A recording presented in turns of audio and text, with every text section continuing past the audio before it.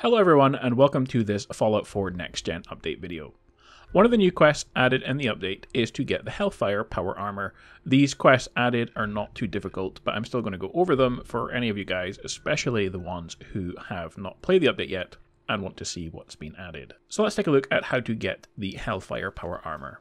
Now this quest is super easy. Head to Pyro's camp, which can be found southeast of the listening post Bravo, the camp is marked by a large bonfire in the centre.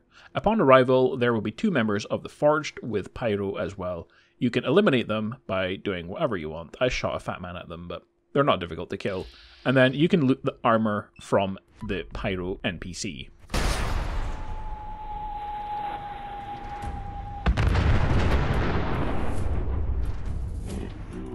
Oh, now it's on.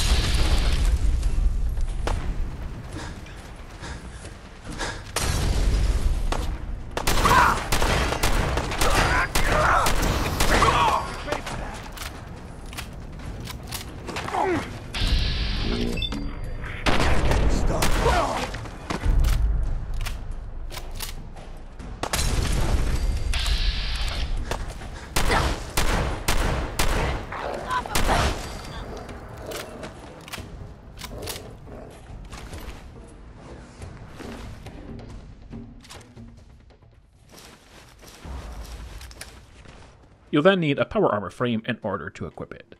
Guys, if you want to see some Fallout 4 guides, like and subscribe for more videos, and I'll see you in the next one. Bye.